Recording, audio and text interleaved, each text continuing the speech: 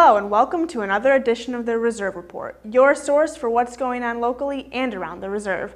I'm your host, Lance Corporal Melissa Martins. MARADMIN 361-16 asked for policy issues for the upcoming Marine Corps Reserve Policy Board. The deadline for submitting policy issues is September 29th. For more information and submission guidelines, check out the MARADMIN. Last month, Marines with 4th Force Reconnaissance Company served as part of a mobile training team in Colombia. The team worked with Colombian Marines to help them develop their reconnaissance tactics, techniques, and procedures. Up in Alaska, Marines from across Marine Forces Reserve participated in innovative readiness training Old Harbor to help the community of Old Harbor with the runway extension project. Our next video has more on the story. Marines with units from across Marine Forces Reserve are participating in a runway extension project during Innovative Readiness Training Old Harbor, Alaska, April 26th through August 6th.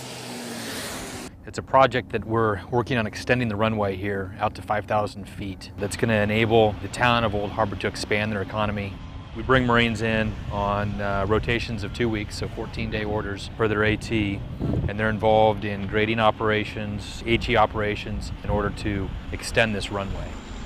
Up to uh, this year, they had moved about 500,000 cubic yards of material.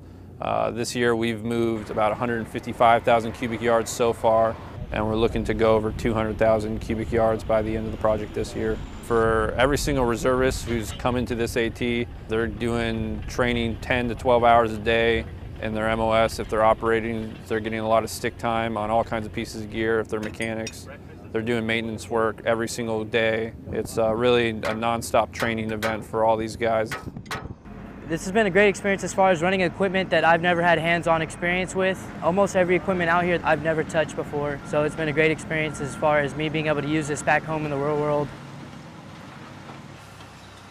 Without the IRT and the Marine support on the airport project, there would be no rock movement. We are forever grateful for the Marine support, for IRT support. Um, without you all here, we would not be moving forward. This project is not only building our infrastructure, but it's really helping to sustain our community, helping us sustain our culture so people can stay home in the village and stay close to their cultural ties. Reporting from Old Harbor, Alaska, I'm Sergeant Ian Leonis. That does it for this edition of the Reserve Report. As always, for more news, photos, and videos, check out our website at www.marforres.marines.mil. I'm Lance Corporal Melissa Martins. Thanks for watching.